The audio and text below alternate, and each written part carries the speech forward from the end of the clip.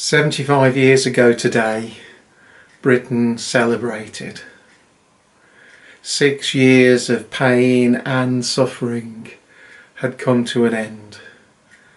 The war in Europe was over and victory had been achieved. It was naturally a time for great celebration.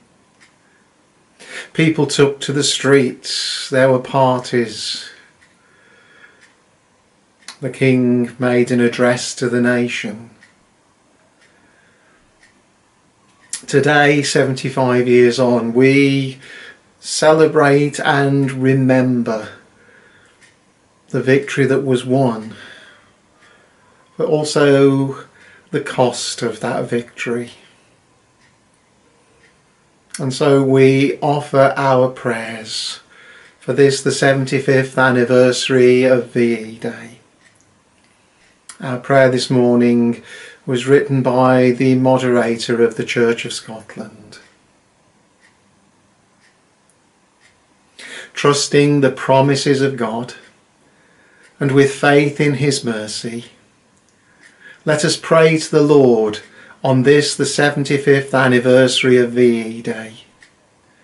Let us pray.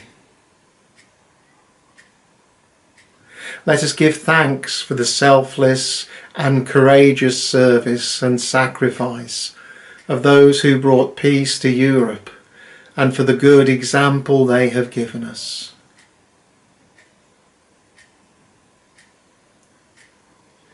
As they fought for justice, that the scourge of prejudice and oppression might never again take root in our societies, May we work for a world in which hatred and injustice never have the final word, and where all people can flourish with dignity and hope.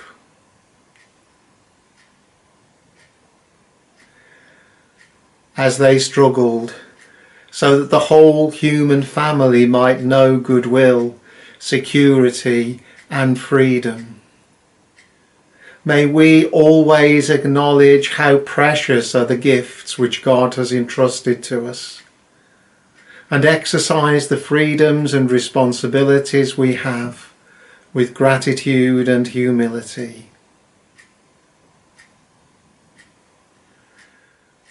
Let us give thanks for the reconciliation of former enemies, for the flourishing of goodwill between them, and for the many blessings we enjoy as a result of the sacrifices which have been made for peace.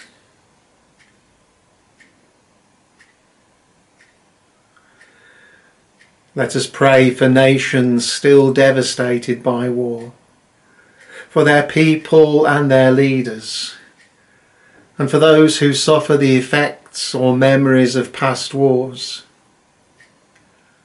for veterans, for those who mourn, and for all innocent victims whose lives have been shattered by the cruelty of others. Let us give thanks for those who work for peace and liberty throughout the world, for the armed forces, and for all who strive to bring an end to injustice and oppression.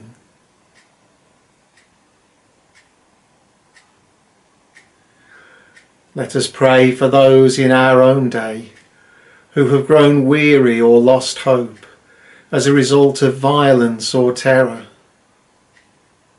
For all refugees and displaced people, and for those who seek to address the causes of discord and trust.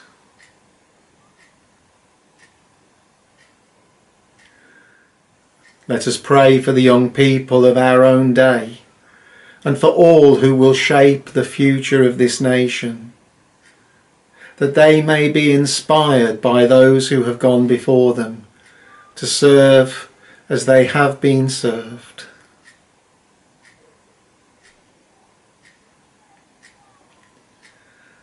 As generations before us fought for peace, that the world might never again know such violence and destruction.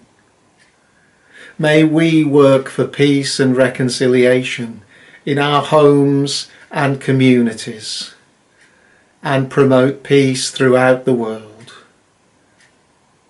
We ask this our prayer in the name of Jesus. Amen.